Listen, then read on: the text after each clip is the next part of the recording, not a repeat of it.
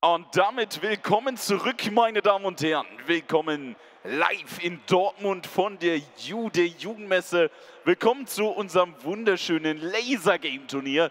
Wir haben uns inzwischen dem Halbfinale angenähert und äh, damit so langsam auch in die Preisgeldregion, weil es gibt ja auch ein bisschen was zu gewinnen. Ja.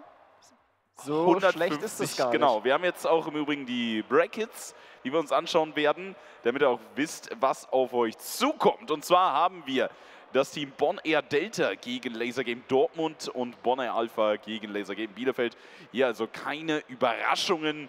Hier wird jetzt 15 Punkte, das heißt, hier wurde zufällig gelost. Ja. Und sie werden jetzt ähm, kein Best of Three tatsächlich, sondern ein verlängertes Spiel gegeneinander spielen. Das ja, heißt etwas länger, acht Minuten jetzt statt der sieben Minuten. Genau. Und das Ganze dann im Best of One Modus. Dafür dann das Best of äh, Best, das Grand Final gibt es dann im Best of Drei Modus. Und der dritte Platz, der wird natürlich vorher auch noch ausgespielt, denn da gibt es auch noch mal ein bisschen Preisgeld. Ähm, ja, ich glaube, das Preisgeld für den ersten Platz sind ganze 150 Euro, dann 80 Euro für den zweiten Platz und zu guter Letzt dann der dritte Platz geht mit 50 Euro nach Hause. Darf man natürlich jetzt nicht mit E-Sports-Preisgeldern nee, vergleichen. aber ich meine, das ist das erste Mal und das, dafür, dass es überhaupt Preisgelder gibt, ja. finde ich es gar nicht mal so schlecht. Also ich glaube, die meisten hätten ja auch ohne Preisgeld gespielt und wir haben ja auch die Mädels gerade von Enro Griffins dabei gehabt. Äh, die hatten auf jeden Fall auch ihren Spaß und äh, wären auf jeden Fall wieder mit am Start, sollte das hier nochmal stattfinden. Deswegen sagt euer Feedback vielleicht gar nicht mal so unentscheidend tatsächlich. Lasergame Deutschland, dort könnt ihr euch auch informieren auf lasergame.de, solltet ihr jetzt Bock bekommen haben. Und äh, ja, wir selbst jetzt werden natürlich schauen, wie schlagen sich jetzt die Lasergame-Teams gegen die Airsoft-Teams. Ja, äh, fand ich auch gerade ganz interessant, weil im Chat geht es auch gerade so ein bisschen um die Spieler, die so ein bisschen Paintball spielen. Ähm, Habe ich schon gelesen, dass einer hier zum Beispiel Woodland spielt und durch ganz Deutschland fährt, weil es halt keine richtige Liga gibt, aber die halt schon ein paar Spiele machen wollen, ähm, mit allen Teams natürlich und auch ein bisschen andere Landschaften natürlich haben wollen und so. Äh, würde mich interessieren, wie ist es für euch, ähm, Airsoft-Spieler, für die Paintball-Spieler? Äh, was sagt ihr zu Laser Game? Wäre das was für euch oder habt ihr sogar schon mal gespielt? Ähm, also postet da ruhig mal euer Feedback im Chat oder auf Twitter, Facebook. Definitiv. Ähm, Wir haben jetzt den Twitch-Chat bei uns, ja. glücklicherweise. Heiliger Twitch-Chat. Nein, nicht nur das, sondern wir werden natürlich auch mal schauen. Ich bin wirklich richtig gespannt. Also wir haben wirklich Laser-Game-Teams, aber das sind auch, auch sehr viele Allrounder. Wir haben ähm, sehr viel überhaupt ähm, Spieler, die beides machen, die zum einen Airsoft spielen, die vielleicht selber Paintball noch spielen, beziehungsweise auch bei, äh, das wurde im Twitch halt auch richtig gesagt, einige, die auch Paintball spielen ähm, und eben Airsoft. Also es bleibt vielleicht ein bisschen nicht aus, sind ja auch ähnliche Aufbauten. Ja, und gerade die Taktik lässt sich halt in den meisten Spielen schon ganz gut übertragen. Es gab jetzt noch mal ein kurzes Update äh, von den Turnieradmins. Und zwar ist Nasty beim Dortmund-Team raus. Die hat sich leider verletzt. Oh. Und äh, stattdessen haben wir jetzt den äh, Axel, glaube ich, kommt jetzt dazu. Nasty sich verletzt, das ist natürlich ärgerlich. Aber gut, die Spieler laufen ein. Und wir schalten live, starten durch mit dem ersten Halbfinale. So, und da haben wir jetzt in der rechten Ecke das Laser Game Team aus Dortmund und in der linken Ecke hier in grün haben wir das Airsoft Team aus Bonn. Haben wir das Delta Squad mit vielen guten Spielern, mit McKay, mit Grinch und mit Frost. Ja, und auf der anderen Seite, die machen sich gerade noch bereit, aber das sind unsere Veteranen hier von Laser Game Dortmund. Sind, glaube ich, auch gerade noch in ihrer, in ihrer Probephase, da müssen sie sich noch hinbewegen. Auf jeden Fall, jetzt geht's los und bei ihnen spielt Zimmertag, Teddy und Axel. Axel F, ja, keine Ahnung, mal schauen, vielleicht hier steht einiges auf dem Spiel. Nassi, wie gesagt, sich verletzt. Da natürlich gute Besserung an der Stelle. Hatte bisher einen guten, starken Turnierstart hingelegt. Jetzt im Bild eben Axel, der sie da ersetzen wird. Laser Game Dortmund natürlich Favorit. So viel ist klar. Die haben das Laser Game im Namen. Aber Bonn Air Delta schlug sich auch sehr gut. Ja, das waren die ersten, die eigentlich mit den Punkten davongezogen sind äh, in der zweiten Gruppe. Also ich glaube, die werden hier einen guten Fight ablegen, aber trotz allem, Laser Game Dortmund, die marschieren hier voran, drücken wirklich das Feld nieder und bis jetzt erst wenige Treffer kassiert. Also sehr, sehr guter Start hier für Laser Game Dortmund. Da wird direkt oh. wieder die Balustrade hochgeklettert und fällt da fast runter. Mein Gott. Ja, hier wirklich so ein Spiel der Klettermaxe auch. Da ist der erste schon raus tatsächlich. Und äh, bisher legt Laser Game Dortmund auf jeden Fall eine gute Führung hin. Ja, muss jetzt nochmal nachladen, aber kriegt hier auch gut ins Gesicht. So, jetzt von links, da bauen sie sich auf. Und da ist er raus, tatsächlich von links rausgesniped. Ja, das nutzt natürlich Laser Game Dortmund sofort, schließt da auf, geht direkt näher ran. Nächste Balustrade wird hier eingenommen, von zwei Seiten wird er hier angegangen und da wird der nächste Spieler von Delta rausgenommen. Mann, jetzt stehen sie hier schon wieder direkt vor der Base. Ja, also da zeigen sie sich jetzt. Sie haben ja gerade das, äh, den Mund ein bisschen vollgenommen zu Beginn und äh, haben gesagt, ja, die hauen wir alle easy weg. Ja, die können zwar Airsoft spielen, aber von Laser Game haben sie keine Ahnung. Und es scheint sich zu bewahrheiten, obwohl natürlich das Airsoft-Team Delta bisher auch absolut dominierend war. Sie haben alle fünf Siege, eine Niederlage jeweils gegen den anderen Rivalen. Aber noch ist hier halt nichts verloren. Also sie können halt das Spiel schön wieder umdrehen. Ähm, es sieht zwar jetzt gerade sehr eindeutig aus, weil eben Bonn Air Delta so weit zurückgetrieben wurde, aber sie müssen halt jetzt einfach mal als koordinierten Schlag nochmal vorgehen und zu dritt vorpreschen. Ja. Und genau das planen sie ja auch. McKay, der sitzt da schon im Sprint. Ja, die Frage ist natürlich, loslegen. hat man wieder den Twix Power Riegel dabei? Ich habe ihn diesmal nicht gespottet. Ja, das könnte natürlich der Grund Ein sein. Ein Spieler ist jetzt rausgenommen hier gerade von Laser Game Dortmund. Ist das jetzt die Chance, sofort zu preschen? Ja, da nee, wird natürlich hektisch geschaut und jetzt auch koordiniert versucht, sich darüber zu arbeiten. Jetzt sehen wir hier Simatek, wie er... Oh, kriegt einige Treffer ab hier. Ja. Auf der linken Seite ist gerade Delta ein bisschen aufgerückt, aber Dortmund jetzt wieder in voller Montur, haben jetzt wieder alle drei Spieler vorne. Simatek ein bisschen überfordert, der steht halt sehr mittig, ne? da musst du von beiden Seiten aufpassen. Trotz allem, sie konnten gerade zwei Spieler von Delta rausnehmen, können jetzt weiter aufschließen, als wieder die vorderste, das vorderste Cover eingenommen. Ja, so, hinter das Banner im Übrigen eine sehr schöne Deckung in meinen Augen. Du hast hier gute Möglichkeiten zum einen zum Klettern und damit okay, kriegt die volle Breite von rechts, zu weit nach vorne, zu weit nach vorne. Jetzt muss er gucken, von Boah. links jetzt und auch von rechts, von beiden und Seiten. Und da ist er wieder raus. Zu Hat ihr, glaube ich, in der Mitte nicht gesehen, den Tombstone. Der war eingenommen von Dortmund und damit wieder das komplette Team raus. Sie können jetzt nochmal koordiniert zu dritt vorgehen. Ah, oh, guck dir das an, läuft aus dem Spawn raus, wird direkt wieder angegangen. Das ist halt Boah. auch eine schwierige Position. Das ja, geht nur zu zweit, da kommt der Slide auf den Knien. Ja, also das haben sie so ein bisschen natürlich äh, von den Airsoft-Spielen ein bisschen besser drauf mit diesen Slides, aber im Laser-Game ist das nicht zwangsläufig nötig, da ist es wichtig, gut zu treffen und äh, ja, das machen sie hier ganz gut. Man sieht auch so ein bisschen die Technik ganz interessant. Ja, diese Handhaltung, hält, ja? das ist ja schon ganz schön verrückt, wie er Also sehr viel Bewegung kommt da mehr aus dem Oberkörper. Vorteil natürlich von Laser Game ist, dass man hier... Oh, zwei Spieler oh, rausgenommen, wieder bei Delta. Richtig oh, gut. Da rutscht er. Das ist schon fast so ein bisschen dieses... Resignation. Ja, Resignationsrutschen würde ich das nennen, ja. Das, das ist ganz recht. Äh, Axel jetzt ganz scharf mit seinem Auge.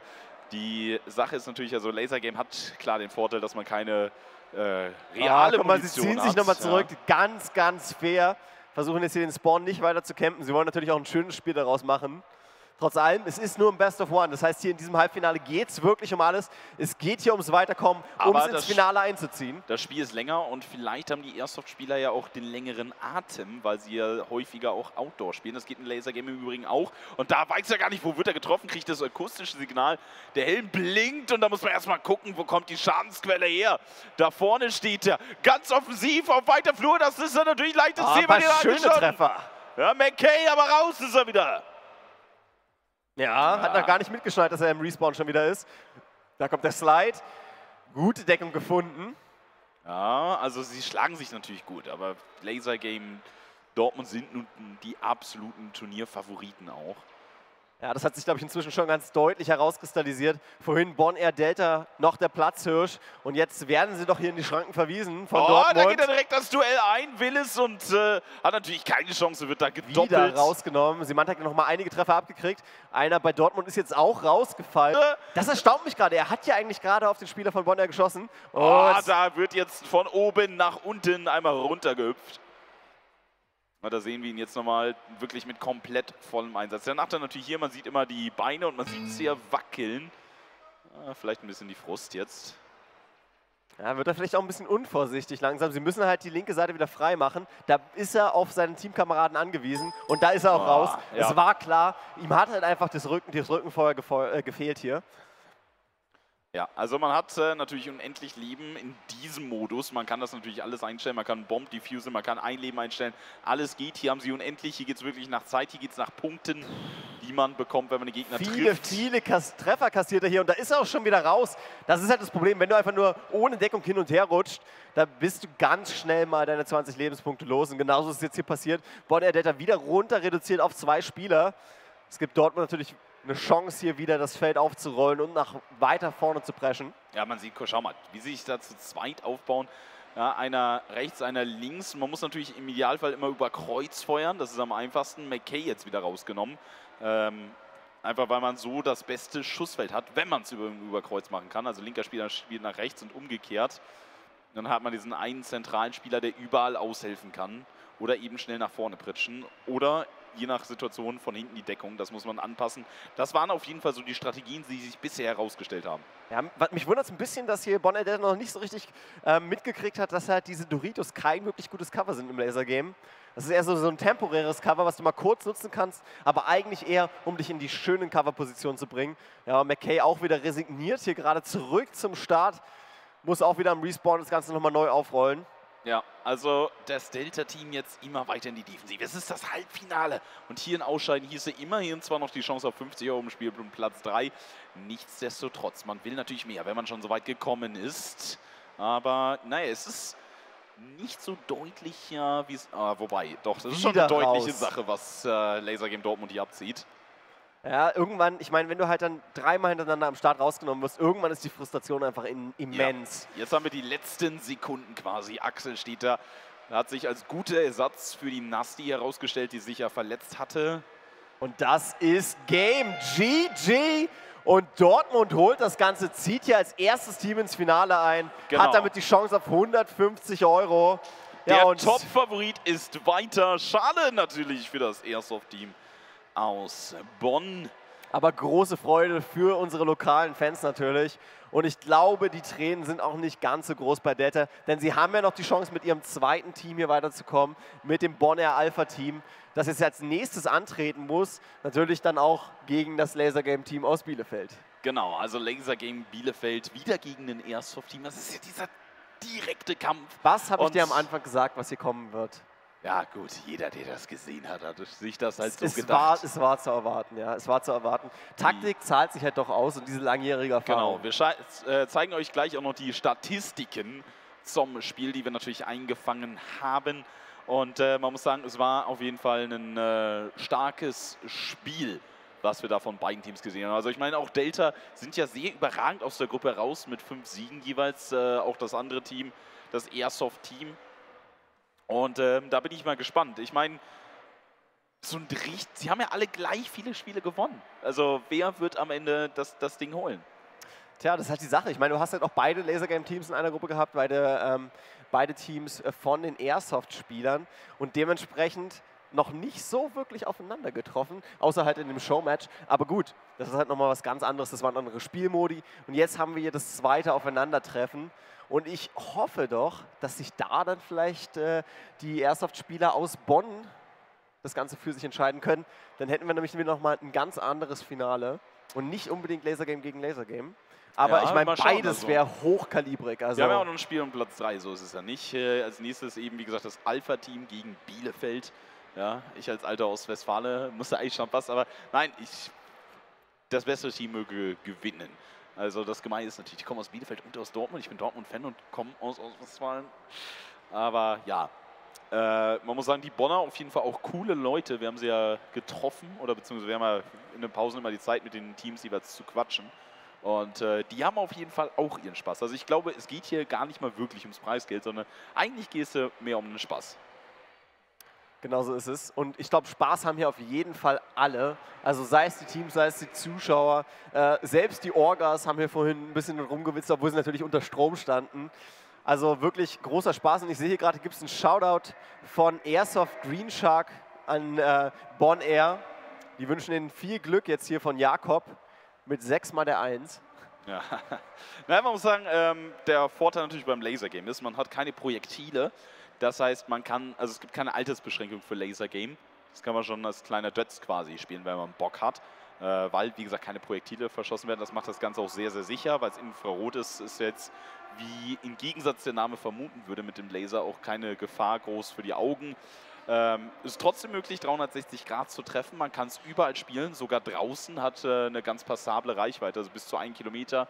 Passabel, also bei, das bei, ist bei immens. Guten, aber bei guten Bedingungen, Ja, klar. muss man dazu sagen. Aber selbst Ähm, so draußen, das macht ja. richtig viel Laune. Richtig, Also wir, wir haben haben ein dieses- schönes Feld in Genau, Leipzig dieses aufgebaut. Live-Monitoring, man kann natürlich easy die Waffen umstellen. Also man kann es im System umstellen, im Sniper-Modus, man kann eine AK einstellen, man kann eine Pistole, also verschiedenste Waffen. Die Jungs pro, ähm, programmieren das ja alle selber und bauen die Waffen hier auch selber. Plus äh, ja, King of the Hill, Bomb Diffusal, all das ist eben möglich, weil es elektronisch ist. Jetzt mit der Live-Score funktioniert, wie gesagt, heute nicht ganz so gut. Das hatten wir zwar vorher getestet, da ist es gut gelaufen, aber jetzt, wo die Halle voll ist und so alle ist mit ihren halt, Handys diese, rumlaufen. diese Kleinigkeiten, die dann immer dazukommen. Äh, Nichtsdestotrotz, also ich meine, wenn ihr das dann spielt, da funktioniert alles, da gibt es danach eine ordentliche Auswertung, alles ist wunderbar. Und ich meine, hier immerhin können wir es halt fürs Turnier auch ordentlich auswerten, halt nur nicht live einblenden, aber das soll jetzt nicht uns groß zurückhalten. Das sind trotzdem phänomenale Spiele. Ja, und ähm, es gab vorhin so ein bisschen Feedback, was ihr dazu sagt. Und da kam zum Beispiel, ach, mir sind doch meine Pains doch lieber, wenn die mir um die Ohren fliegen. Das sorgt einfach für mehr Adrenalin. ja, ich aber muss es ist halt sagen, alles Vor- und Nachteile. Und ja klar, also ich meine, nachher hast du keine blauen Flecken. Und das Adrenalin kommt halt in jedem Fall, weil das Ja. kommt einfach durch das Rumrennen, durch die taktischen Ansagen, durch die, durch die Action einfach. Ich muss sagen, ich habe auch beides schon gespielt. Airsoft tatsächlich noch nicht, aber Paintball und Lasergame habe ich beides schon gespielt. Ich muss sagen, es hat beides eben auch äh, seine Reize. Ja. Äh, Vorteil natürlich bei Lasergame ist, du brauchst jetzt keine äh, Klamotten da im Sinne von, dass die da schmutzig werden können oder ich meine, gerade wenn man mal auf dem Paintball-Feld war, auf so einer Halle, die dann auch oft bespielt wird, da liegen über die Kugeln. Ja, schon sehr also du musst da richtig, richtige ranzige Klamotten genau, anziehen. Ja. Und ich finde, es zeckt auch ganz schön. Also gerade, wir haben dann irgendwann so die Regeln ausgemacht, nicht aus nächster Nähe schießen, das sag Ja. einfach, ich habe dich jetzt getroffen, weil das zeckt halt, wenn du irgendwie so Richtig, drei Meter dran genau. stehst. Und das hat man hier eben nicht. Und hier hat man jetzt schon mal die Todesmaske aufgesetzt. Die Airsoft-Teams natürlich alle mit Sonnenbrille, weil sie es so gewohnt sind, müssen es ja machen mit der Schutzbrille. Bei ihrem eigentlichen Spiel im Lasergame wäre es gesagt nicht notwendig. Wir haben hier also ist das eigentlich die Maske aus Ghost? Call of Duty Ghost? Ich glaube, da hat er auch so eine Maske auf dem Cover. das kann gut sein. Das sieht schon so ein bisschen gefährlich aus. Ja. Also äh, man kann, wie gesagt, Lasergame auch draußen spielen. Das geht ohne weiteres. Inzwischen nicht mehr so anfällig wie früher noch mit dem Sonnenlicht. Also man kann es auch im Wald spielen. Ähm, ist eine coole Sache. Da haben die auf lasergame.de auch ein paar tolle Videos zu. Ähm, wir haben es jetzt gerade gesehen, das Team Alpha spielt gegen Lasergame Bielefeld, gegen die Ostwestfalen. Also es geht, äh, es gibt ja auch auf, in Deutschland sowohl Indoor-Hallen, was jetzt im Winter ganz cool ist, als auch die Möglichkeit, äh, Outdoor zu spielen. Im Herbst, glaube ich, noch eine coole Sache, wenn es dann matschig und äh, ist. Das Ja, heißt, du hast ja auch gesagt, die Waffen halten einiges aus. Ja, ja, klar, also das machen die schon alles mit. Das ist dann eher dein Körper, der aufgibt. Also du bist dann halt in dem Spiel gut dabei, bist richtig aufgeheizt. Danach wird es dann halt ähm, doch ein bisschen frischer. Und da ziehst du halt ein bisschen mehr an. Und die Waffen sind ja auch noch aus Metall, das heißt, die werden auch schön kalt. Also das ist dann schon eine Herausforderung an den Körper, wenn du so spielst. Genau, also es gibt natürlich auch verschiedene Systeme. In diesem System gibt es jetzt in Anführungsstrichen nur das Stirnband, aber auch 360 Grad Treffermöglichkeit. So, und ich würde sagen, da legen wir doch mal los. Wir sehen also in der linken Ecke das Lasergame-Team Bielefeld mit Markus a.k.a. Ottek, mit Marcel a.k.a. Marci und mit Private Paula. Ja, und da ist auch schon der Startschuss gefallen auf der rechten Seite. Da haben wir Bon Air Team Alpha mit Stealth, mit O'Neill und mit Age. Und die preschen ja auch direkt in die Mitte vor, bringen sich da eine gute Position, aber ja, wir sehen schon, Laser Game Bielefeld, die gehen auch direkt nach vorne, haben schon einen Spieler in eine äh, sehr weit vorgeschrittene Position gebracht. Ja. Und Alpha hält dagegen von hinten und da muss er sich weiter zurückziehen. Das war einfach zu weit vorn. Ohne die Rückendeckung äh, von seinen Kameraden wird es einfach nichts. Ja, also hier jetzt ste- sehen wir da den Ottek ja, im Deutschland-Trikot. Also haben wir verzichtet auf einheitliche Teamkleidung. Da müssen wir natürlich mal schauen. Also das Lasergame Bielefeld-Team ist halt daran zu erkennen, dass sie eben keine einheitliche Kleidung haben, ganz im Gegensatz zu Bonner Alpha. Alle mit ihren Uniformen, natürlich so ein Stück weit Show. Aber auch da sehen wir jetzt gerade momentan, dass sie etwas das Schlachtfeld dominieren. Also sie haben auf jeden Fall schon die bessere Position. Ja, Bielefeld steht schon sehr, sehr tief. Halt aber immer wieder einen Spieler, der von weiter hinten dann das Feld aufmischen kann. Immer mal wieder Rückendeckung geben kann. Das kann man es ganz gut sehen aus dem Winkel. Äh, wieder das umgedrehte V, also halt eine Speerspitze. Und genau so spielen die es halt durch. Und das haben wir bei anderen Teams schon gesehen. Das funktioniert sehr, sehr gut. Ja, das ist sowieso gut, dass, weil diese Spitze, sie kann hinten defensiv fungieren und hinten absichern, kann aber auch dann einfach nach vorne rennen und äh, entweder eine Linie rausmachen das so nach dem Motto, hier kommt keiner vorbei. Oder natürlich dann, wie du schon gesagt hast, die Speerspitze bilden. Und man sieht, in dem Fall mit der Speerspitze kriegt man jetzt gerade einen nach dem anderen raus. Ja, ich glaube, jetzt sind sie gerade 3 gegen 1 und jetzt laufen sie hinten in den Spawn rein, geben da volles Dauerfeuer drauf. Das macht natürlich dann wieder auch Möglichkeiten für äh, Alpha auf. Also so dominiert worden ist Alpha bisher noch nicht in diesem Turnier und man sieht das, wie sie da zurücklaufen. Das ist eine neue Situation. sich jetzt so ein bisschen zusammen. Genau, neue Situation. Damit müssen sie ja auch erstmal klarkommen, denn das Laser Game Team aus Bielefeld, das hat natürlich schon einige Stunden hinter sich und die spielen eben auch Paintball zum Teil. Also wenn ich mir das so anschaue, ist der Ottex sogar auch Betriebsleiter der Paintball Arena in Bielefeld. Und der Marci halt Profi, das, ich finde, das sieht man auch. Also ja, wie er halt in die Deckung kriegt und, und so weiter. Paula ist Soldat.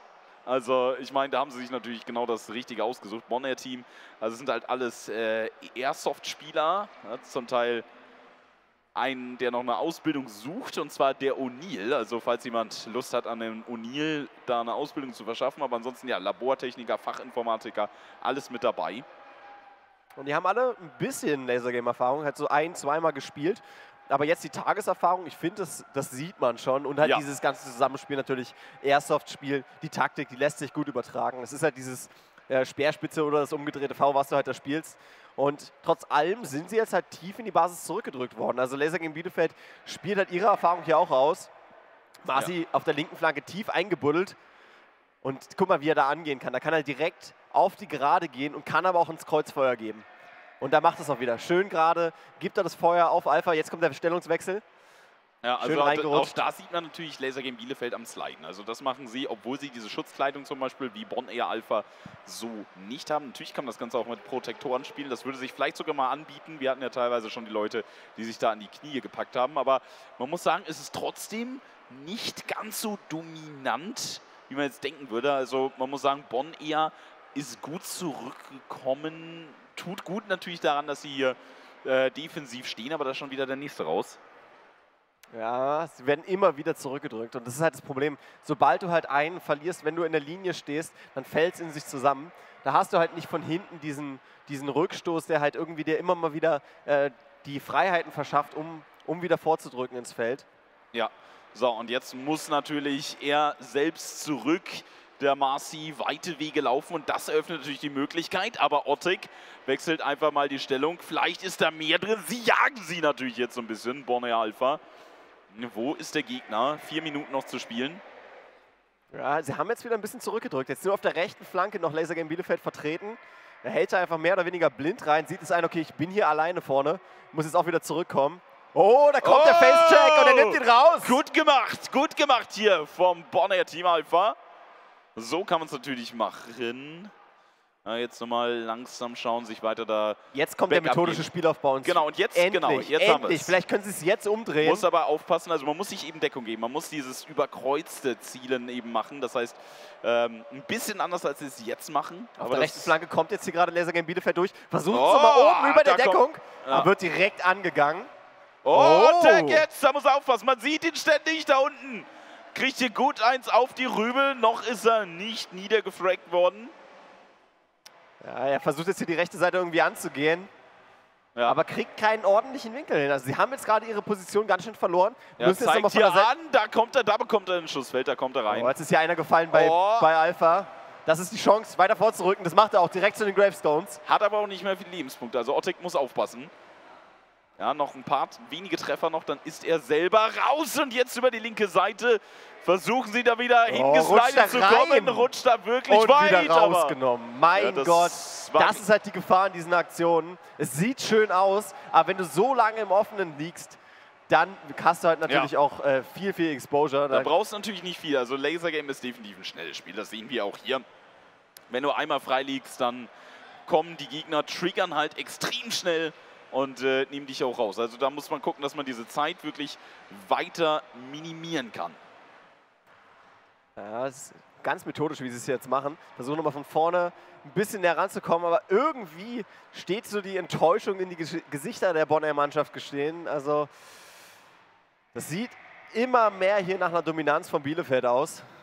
Ja, also Bielefeld oh, kann sich da auch rum. weiter... Und der Facecheck nimmt ihn raus, aber wird im Gegenzug dann auch rausgeschmissen. Nee, er lebt noch. Wow. Er lebt noch, er lebt noch, er lebt noch. Ja, er lebt noch, schießt nicht. Ja, selber nochmal den Kopf weggezogen. Gut gemacht an der Stelle.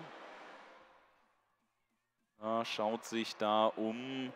Das ist natürlich, man muss auch immer den Gegner ausfindig machen. Wenn man das erstmal hat, das ist die halbe Miete, dann weiß man, wo man direkt hinschießen kann. So, rausgenommen jetzt auch. Also die, das Teamwork auf jeden Fall sehr gut und äh, vor allem von einer richtig deutlichen Niederlage kann man so jetzt nicht unbedingt sprechen. Nee, auf keinen Fall. Also ich meine, sie haben ja immer mal wieder Punkte noch rausgeholt, konnten noch mal ein, zwei Mal richtig schön ausbrechen aus ihrer Spielhälfte, aber der Spielaufbau, der wird dann immer wieder gestört. Das macht halt Laser Game Bielefeld ganz methodisch. Nimmt einzelne Spieler immer wieder raus und dadurch wird halt der Aufbau wieder zurückgetrieben. Und so ist auch hier noch 40, 45 Sekunden zu spielen. Ja, also. Und sie kriegen es einfach nicht hin, einfach weiter nach vorne zu kommen. Vollkommen richtig. Also sie müssen gucken, dass sie da rauskommen vielleicht. Und äh, dass sie da hinter das Gebüsch vielleicht, da kann man eben durchschießen, das ist der Punkt. Ja, probiert es hier nochmal. Aber ich meine, Bielefeld weiß auch, sie müssen es jetzt auch nicht übertreiben. Sie haben auf jeden Fall den Punktevorteil.